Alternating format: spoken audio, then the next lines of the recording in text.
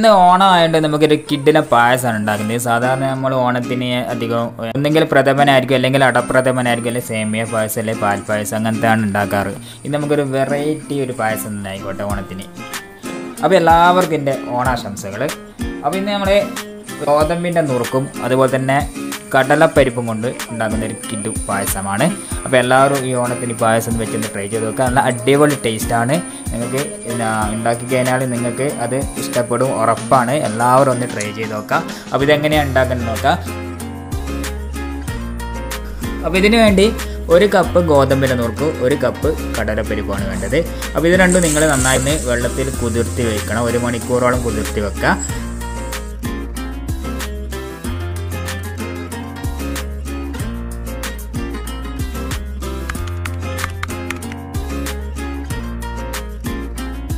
അതിനുശേഷം ആദ്യം ഗോതമ്പ് ഗോതമ്പ് നുറുക്ക് കുക്കറിലിട്ട് ഒരു രണ്ട് വിസിൽ വേവിച്ചെടുക്കണം. അതിനായിട്ട് അപ്പോൾ ഗോതമ്പ് നുറുക്ക് നമ്മൾ കുക്കറിലേക്ക് ഇട്ട് അതിലേക്ക് രണ്ട് കപ്പ് വെള്ളം ഒഴിച്ചെടുക്കുക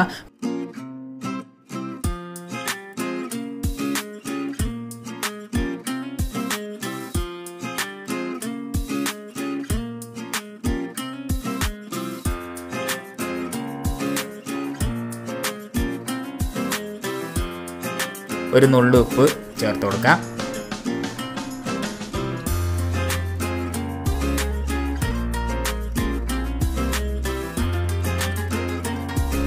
ഇപ്പോൾ രണ്ട് വിസിൽ അടിച്ചതിന് ശേഷം നമ്മളിന്ന് ഓപ്പൺ ചെയ്യുക ഓപ്പൺ ചെയ്തതിന് ശേഷം അതിലേക്ക് കടലപ്പരിപ്പ് ഇട്ട് കൊടുക്കുക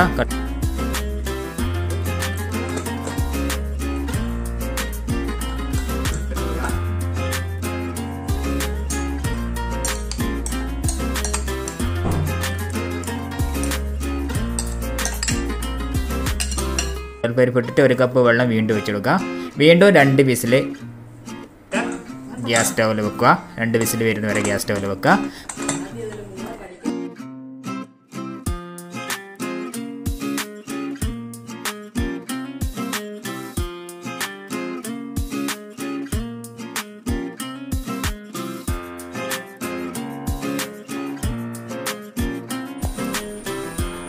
ഇപ്പോൾ രണ്ട് വിസിലിന് ശേഷം നമുക്കിത് ഗ്യാസ് സ്റ്റോക്ക് ഓഫ് ചെയ്ത് പുറത്തേക്ക് എടുക്കുക അതിന് അതിനുശേഷം മറ്റൊരു പാത്രത്തിലേക്ക് മാറ്റാം എന്നിട്ട് ഇത് നമുക്ക് നന്നായിട്ട് തിളപ്പിച്ചെടുക്കണം.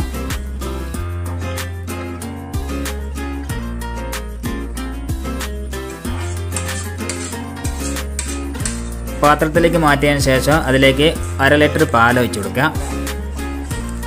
ഇത് നന്നായിട്ട് തന്നെ മിക്സ് ചെയ്യുക. അതിനുശേഷം ഒരു കപ്പ് പഞ്ചസാരയും ചേർത്ത് കൊടുക്കുക.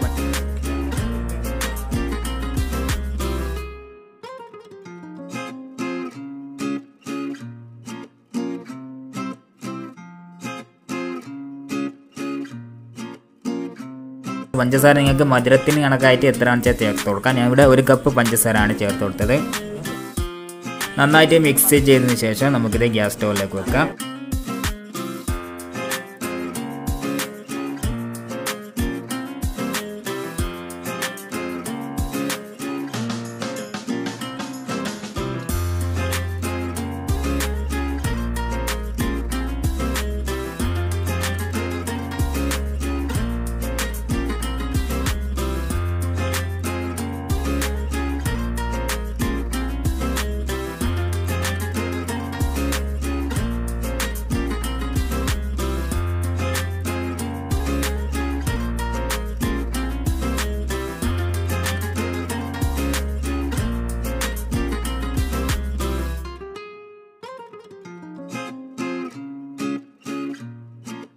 ഇപ്പോൾ ഒന്ന് തിളച്ച് വരുമ്പോൾ നമുക്ക് അതിലേക്ക് ഒരു അഞ്ച് ഏലക്കായി ചതച്ചിട്ട് ഇട്ട് കൊടുക്കുക ഏലക്കായി ഇട്ടതിന് ശേഷം ഒരു അഞ്ചോ അഞ്ച് മിനിറ്റും കൂടി നമുക്ക് ഗ്യാസ് സ്റ്റൗവിൽ വെച്ചതിന് ശേഷം തീ ഓഫ് ചെയ്യാം.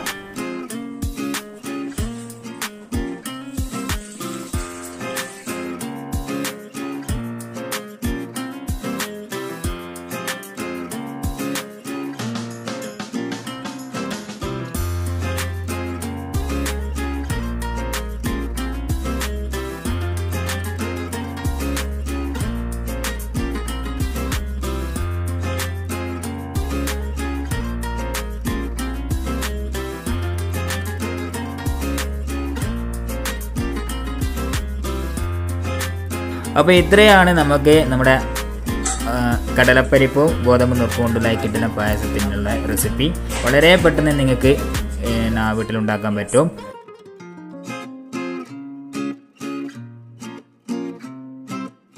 അതിലേക്ക് നമുക്ക് ഡെക്കറേഷൻ ചെയ്യാൻ വേണ്ടി കുറച്ച് കാഷ്യൂ നട്ട്സ് ചേർക്കാം.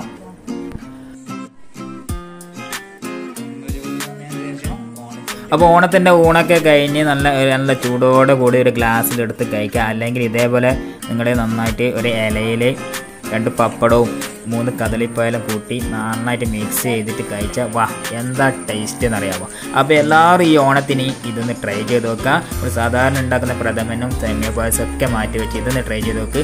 കിടല റിസൾട്ടാണ് നിങ്ങൾക്ക് ഉണ്ടാവുക. നല്ല അടിപൊളി ടേസ്റ്റാണ് അപ്പോൾ എല്ലാവർക്കും ഒരിക്കൽ കൂടി ഓണാശംസകൾ. പുതിയ വീഡിയോയുമായി വീണ്ടും കാണാം. അതുവരേക്കും ബൈ